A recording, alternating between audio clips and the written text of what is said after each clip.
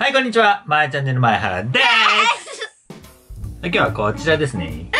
E7 系新幹線輝きのマウスですね。はい、アイバッファローさんからですね、出ておりました。えー E7 系新幹線の輝きのマウスでございます。なんか変だよね、でも。輝きって言ったら W7 系じゃないの？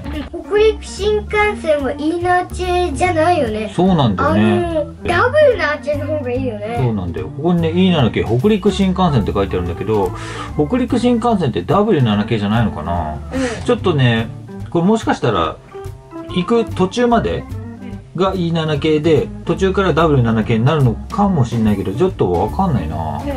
もし詳しい方いたら教えてください。んえこちらですね、その名の通り、え E7 系新幹線をモチーフにしたマウスですね。うん。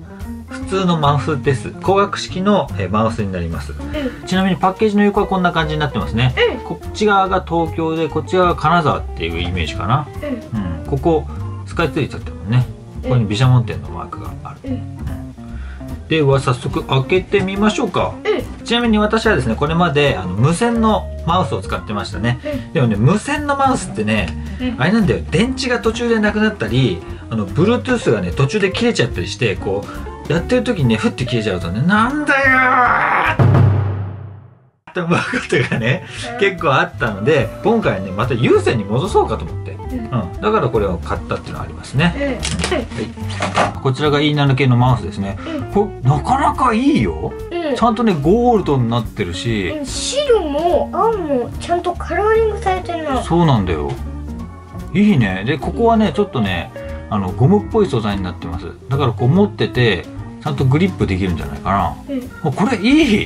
うん。いやこれかっこいいよ。かっこいい。あすごくいい感じホイールも。うん。クリック感もいいですね。うん。素晴らしいじゃん。素晴らしい。ブラックはこんな感じでございます、ちなみにですね全く比較対象ではないですけれどもこちらフラレール。これは E7 系新幹線だね、えーカラーリングどうでしょうか？あーこっちの方がちょっと薄い青だね。うんうん。でもゴールドは同じような感じでございますね、やっぱいいね、うん。合ってる合ってる、合ってるうねん。はい、そしてプラレールアドバンス。こちら W7 系輝きだね。うん。はい。あこれはほぼほぼ一緒だね色が。うん。あー。青色がほぼほぼ一緒。あー。いいじゃない。いいよね。そしてこれはもう全然違うと思うけどナノブロックの E7 系だね、うん。はいこんな感じ。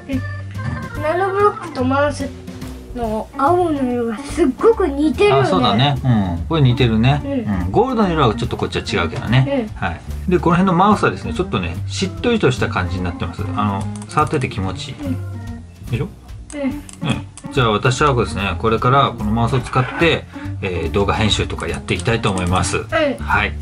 これもこれでやるんでしょ？そう。この動画編集もこのマウスでやります。うん。はいちょっと今セットしてみましたね。こんな感じ。おおちゃんと動くわ。綺麗にちゃんと動く。でここのライトがブルーだね。うんブルー。ああいいじゃん。これも輝きっぽくていいね。うんうん。今使った感じだと全然問題ないですね。